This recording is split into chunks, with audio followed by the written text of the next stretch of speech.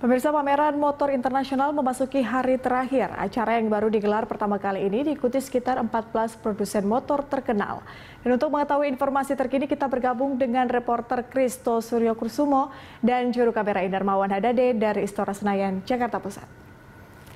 Kristo, selamat siang. Apa saja inovasi ataupun teknologi terbaru di dunia motor yang ditampilkan atau ditawarkan oleh produsen kepada masyarakat di dalam pameran itu? Ya baik Patricia dan juga pemirsa selain menampilkan uh, 14 produsen motor konvensional di pameran motor internasional ini juga menampilkan salah satu teknologi baru di dunia uh, transportasi atau di dunia motor sendiri yaitu motor-motor yang menggunakan uh, listrik sebagai bahan dasar kendaraannya. Dan juga bukan hal baru juga bahwa kendaraan berbasis ini juga sudah mulai menjadi tren tersendiri di Jakarta setidaknya sejak beberapa bulan lalu. Dan saat ini di pameran motor internasional uh, selain menampilkan motor-motor uh, yang biasa kita jumpai uh, ditampilkan juga uh, produsen motor listrik yang juga menjadi daya tarik tersendiri dari pameran ini. Dan juga pameran motor internasional ini sendiri memasuki hari terakhir dari penyelenggaraannya setelah diselenggarakan dari tanggal 29 November 2019 hingga hari ini tanggal 1 Desember 2019 dan, dan untuk pembukaannya sendiri acara ini dibuka oleh Menteri Perindustrian Agus Gumiwang Kartasasmita yang uh, yang juga berharap mengharapkan uh, dari pidatonya kemarin bahwa acara ini diharapkan menjadi salah satu upaya untuk memperkenalkan kendaraan berbasis listrik kepada masyarakat. Karena seperti diketahui juga uh, di Jakarta sendiri ini sudah mulai uh, naik begitu uh, tren untuk menggunakan kendaraan berbasis listrik.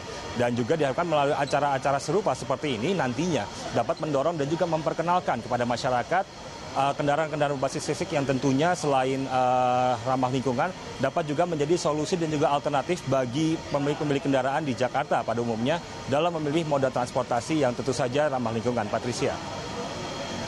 So di hari terakhir bagaimana Anda melihat antusiasme dari para pengunjung di sana?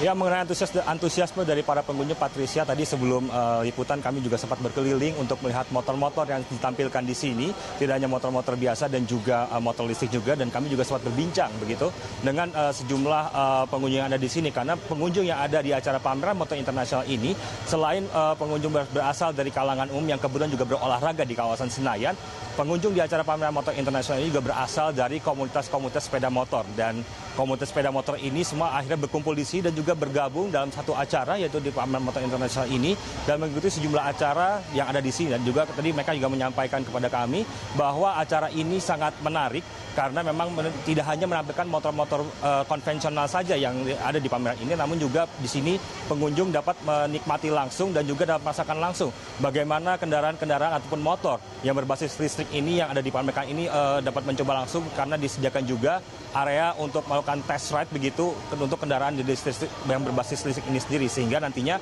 para pengunjung uh, juga uh, dapat merasakan bagaimana uh, kendaraan-kendaraan berbasis listrik performanya lalu dari mesinnya juga. Lalu juga tadi uh, di pameran ini juga uh, PLN selaku BUMN juga uh, ikut membuka stand di sini dan juga turut membantu untuk memperkenalkan kendaraan listrik dan juga uh, sarana untuk mengisi daya dari kendaraan, kendaraan listrik ini sendiri.